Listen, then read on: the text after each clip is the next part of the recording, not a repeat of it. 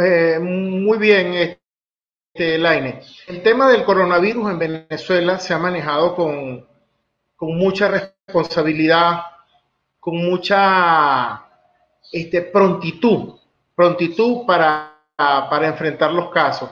Por supuesto, la mediática internacional que no ha cesado un minuto, un minuto no ha cesado contra el país, con, tergiversando, malponiendo, eh, malponiendo al país frente, desfigurando, pues, desfigurando la realidad.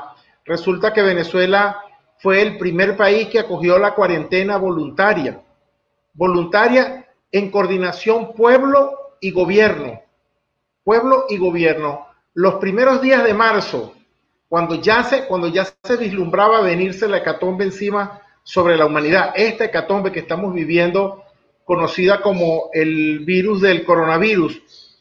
Eh, el país tomó, tomó, tomó la, previsión de, llamar a la población, eh, nuestro gobierno, de llamar a la población a una cuarentena voluntaria social. Y el país la acogió de inmediato. Nosotros ya vamos terminando, esta es la tercera semana que tenemos. Vamos para la cuarta semana. Mañana arrancamos la cuarta semana del aislamiento y del distanciamiento social que tenemos. Se ha cumplido, el Estado está hablando de un 90-95% y eso habla muy bien de la población. En las mañanas se dan pequeñas aglomeraciones, pero es a la gente este, comprando la comida del día a día. Como tú sabes, el país está bajo un asedio económico y la gente eh, no tiene aquella cuestión tradicional de salir a comprar su mercado cada 15 días para ahorrar, sino en el día a día te va, te va imponiendo una rutina de compra porque los precios cambian. Pues. Los precios cambian y adentro del país la guerra económica no ha cesado contra el pueblo. Los comerciantes han, han triplicado, han duplicado y triplicado y en algunos casos cuatruplicado el precio de los alimentos. En un acto, en un acto desleal contra un país que está sufriendo un ataque como, como lo está sufriendo la humanidad. La humanidad pero el comportamiento de la población ha sido un comportamiento ejemplar, ejemplar. Y eso eh, ha, impedido de que, el, mal eh, se, difunda en el país, se difunda. Pero hay varios elementos bien importantes que la mediática, que siempre nos sataniza, siempre nos subestima, no toma en cuenta. Eh, a nivel internacional, este, Jair Bolsonaro dice que, él, que el, el, problema que él siente hacia el coronavirus es que en Venezuela se desborde el coronavirus. El presidente Trump dice que el problema de la región es Venezuela con el coronavirus. Y resulta que las cifras de la Organización Mundial de la Salud lo desmienten. Lo desmienten porque Venezuela es uno de los últimos países, uno de los países cuya morbilidad de, de la pandemia, el comportamiento de la pandemia dentro del país está controlado, está moderado y tendemos a vencerlo.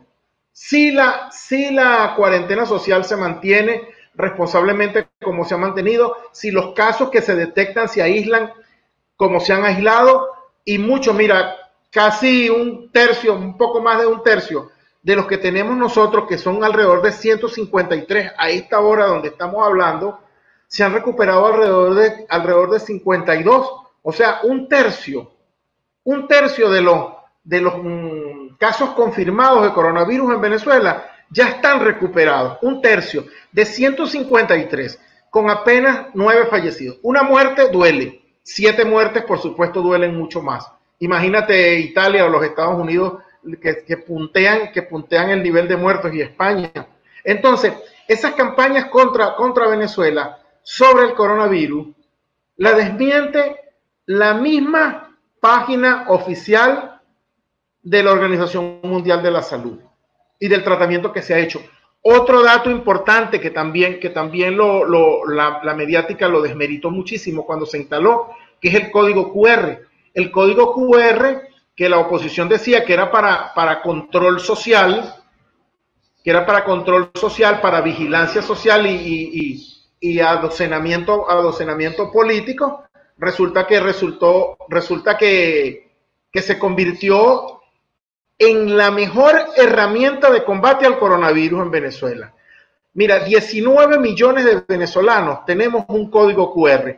Y a través de ese código QR nosotros integramos una Big Data, una Big Data.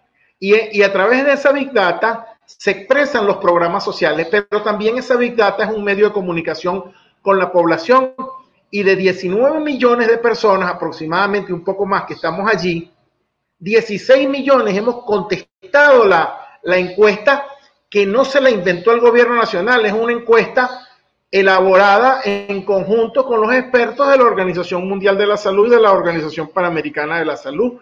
Y la población ha contestado y por allí se han pesquisado más de 60 mil casos sospechosos que se han ido a visitar casa a casa con la, con la, prueba, con la prueba del coronavirus gratuita, gratuita, con atención médica, incluyendo los, eh, incluyendo los que están en, en, la medicina privada. Los que se están viendo allí, el Estado también está viendo por ellos. Entonces, el código QR que fue satanizado, cuando es una herramienta que se usa en todas partes del mundo, pero resulta que en Venezuela toda cosa que se haga, toda cosa se descalifica, basta que, que sea impulsada por el gobierno nacional. Y el código QR ha sido la herramienta fundamental que aquí nosotros la llamamos patria. La plataforma, la Big Data, se llama patria. Y ese código QR está estampado en una tarjeta que nosotros llamamos el carnet de la patria. A través del carnet de la patria es la data que alimenta a todas las políticas que se, que se enfilan en la erradicación del coronavirus en Venezuela y ha dado unos excelentes resultados. Eso no lo va a decir nunca la prensa mundial. Nunca. Nunca. Ahora resulta que los países de la región que decíamos que decían que nosotros éramos una peste, ahora habría que verlo. No, no se le está sacando. Es lamentable la cuestión que, que está viviendo porque está desnudando los sistemas de salud y los modelos de gobierno que tienen, el abandono social que tienen. Y ahí está, ahí está expresado. Chile, Ecuador, Colombia, Brasil, están expresados allí. Ahora, ¿qué nos ocurre, este profesor Elaine? Bueno, que en medio, que en medio de esta disciplina social donde estamos, de este combate, donde hemos dado un combate ejemplar de erradicación del coronavirus, hemos hecho nuestro aporte mundial y ahí están los números que, que así lo sustentan.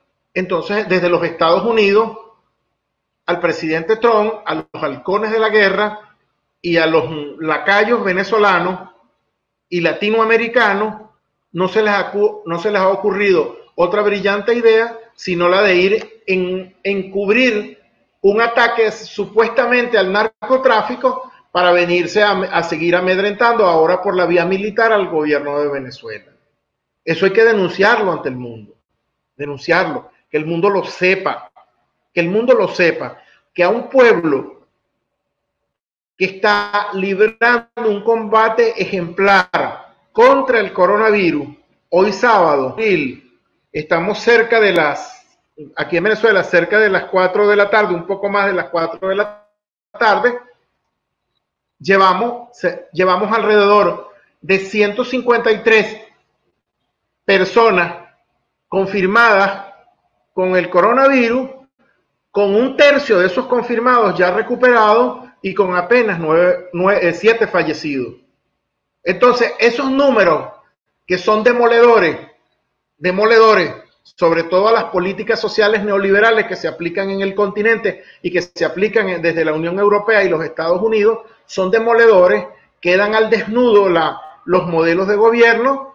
Entonces, con, con ese combate, entonces nos pretenden, aprovechando que el mundo está desmovilizado, eh, producto de esta pandemia, entonces nos pretenden hacer un ataque militar este, solapado, encubierto bajo la bandera del, de la lucha contra el narcotráfico.